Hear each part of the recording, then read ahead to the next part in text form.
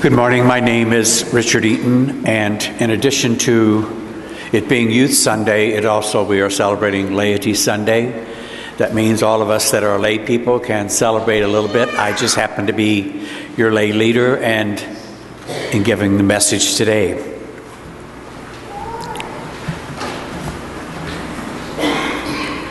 Fear knocked at the door. Faith answered. No one was there. Fear knocked at the door. Faith answered. No one was there. That's really the message of the two scriptures that we have today. The first one being from the Psalm of uh, the 34th Psalm, where it talks about David. David was a mighty warrior who uh, had been captured and he had been brought in front of the king, who happened to be the king of Gath, who was also there. That's also the area where from which uh, Goliath came. But David was standing uh, in in the midst of trial for himself because he didn't know whether they were going to cut off an ear, cut off his nose, or slash his throat. So he knew he was in a lot of trouble, and he knew God's nearness and salvation was also close by. So he had the inspiration to fake his madness. And so he scratched at the doors and at the gates uh, continuously. And then he allowed spit and saliva to run down his beard, so that when he was finally brought to, in front of the king, the king determined that he was mad, that he was insane. They, he couldn't have committed the kinds of uh, acts that he had been accused of. So he was released. And then David later wrote that Psalm 34. And he wrote, and two things out there uh, were brought to my attention. He said, I sought the Lord, and he answered me. He delivered me from all my fears. This poor soul cried and was heard by the Lord and was saved from every trouble. And that's what David wrote in the 34th Psalm. Then we have the Gospel of Mark, who is the story of the blind man named Bartimaeus that Jesus was getting ready to leave Jericho at this time and go on to Jerusalem. And he was leaving the city, uh, obviously, crowds gathered around him and they accompanied him and they were noisy. And at the end of the gate, uh, just before you leave Jericho, there sat uh, Bartimaeus down alongside the, the road where he sat every day. Um, with his cloak that he had taken off and to catch whatever he might be able to catch, like a few coins or something, but begging. He was a beggar. And he would sit there and beg and also live within his realm of hopelessness and probably woe is me. When he heard all the turmoil and the excitement, he then uh, he stopped and wondered what it was, and he found out that it was Jesus coming down the roadside. So he yelled out, Jesus, son of David, have pity on me. And those around him tried to shush him and tell him to be quiet, that Jesus didn't need to hear from him. But that didn't stop him. As the noise got a little louder, he yelled even louder. And he said, Jesus, son of David, have pity on me. And Jesus stopped because he heard him. And Jesus called to him and said, Come to me. And they all said, Cheer up, Jesus is calling you. So he went to Jesus. Jesus laid his hand on his shoulder and said, What do you want me to do for you today? And he said, Teacher, which meant rabbi, I want to see again. Jesus said, Your faith has saved you. Off you go. Jesus knew that Bartimaeus was a man of faith because he used the word David, called him son of David. So he knew that he had uh, his lineage uh, as a part of his understanding who Jesus really was. So his sight was restored, and he could see again. Bartimaeus then walked with Jesus and followed him on his way to Jerusalem. Why follow Jesus? It was for salvation, for mercy, and for pardon, and also to know love love of life, to love God, and to know the kingdom of God. Because Jesus did say to his disciples on the Sermon of the Mount, Happy are the poor in spirit, which meant the humble. Happy are the poor in spirit, for theirs is the kingdom of God. Happy are they who hunger and thirst for righteousness, for they shall be filled. And happy are the pure in spirit, for they shall see God. Both scriptures give praise for the faith of God. David called on God I sought the Lord, and he answered me, and he delivered me from all my fears. And Bartimaeus called on Jesus, and Jesus said, Your faith has saved you. Your faith has given you new sight.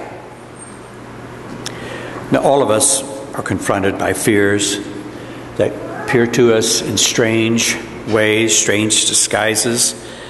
And some of our fears are so difficult that they challenge whether we want to continue living, uh, living our lives that way that we have known. And when I say that, I'm talking about those severe health issues, maybe a death of a loved one, loss of love, even our own personal death. Sigmund Freud, he, he divided fears into two categories. One was normal, the other was abnormal. Now, I have trouble with those words, but for the sake of this point right now, let's think of uh, the normal and the abnormal fears according to uh, Sigmund Freud. He said that the normal fears are those that protect us and motivate us. The abnormal fears are those that paralyze us and cause us mental anguish. And he used the example of the snake. Those of you that have studied him, I think he said something like if you are traveling in the depths of the jungle in Africa and you come across a large anaconda snake, that is a normal fear. You find a way to get out of there that motivates you. But if you live in a high rise apartment and you fear the snakes that are under your carpet, uh, that is an abnormal fear that will cause you mental anguish. Faith does not offer us an, an illusion that we will be fear, free of fear uh, or exempt from the pain or the suffering or the trouble. Faith allows us the comfort to know that we are not alone. And I think it is through our consciousness of knowing that God within us, we can overcome our fears.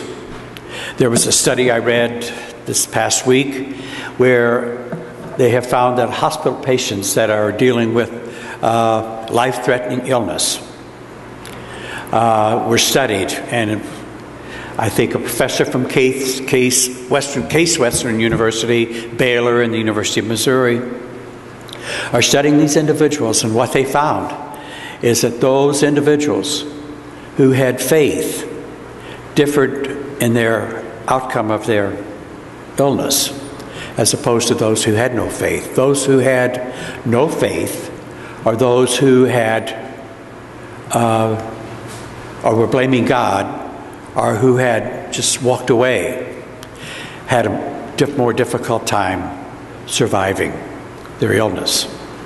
People with faith did not feel that they were alone and that they had a greater chance of surviving their illness and of leaving the hospital and returning home. And I think of some of the medical situations that we've had with people in our church.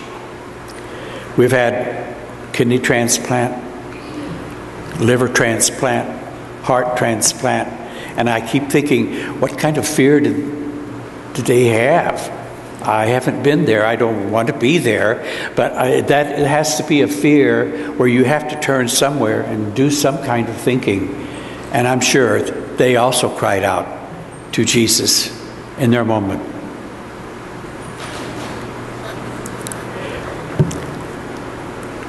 I think our life's journey will continue with fears until we know that life is love and life is the love of life, joined with the inspiration of our divine creator.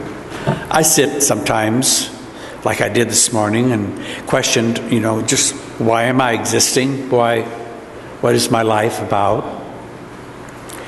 And I decided that whatever happens to me, or whatever has happened to me, is just that's life. What I have to learn to love is the fact that I exist. So when I talk about the consciousness of knowing that God is within us, that's what I rely on. This morning on Channel 4 News, the CBS station, they featured uh, that little girl that we all remember who was running from the na- from the bombing in Vietnam. She was a naked little girl running through the uh, running away from the bombing, and she was burning. You know, she had been burned. We, John and I watched that program this morning. It was rather moving because she now is 52 years later, and she has gone through a great deal uh, of life steps and chapters in her life. But she said she had been discouraged because her her thinking wasn't the best when she wanted to enter medical school, so she would sneak off to the library and she would try to read books.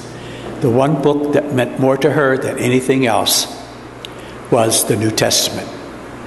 She found faith there, and she has given her new uh, ability to deal with her fears because she was afraid she was had been burned so badly that she was so ugly she would never experience the love of someone else, especially a husband. She now is married to a man uh, she met in Havana, Cuba, and uh, she is now, make a long story short, she's now doing research to help other burn victims, and they're working on her body as well as part of the experiment. But I found it, it just sort of fit into what I was talking about today about your fears and how you can rely on your faith to carry you through. And you may have to call sometimes on Jesus. You may have to pray to God to help you out of those situations.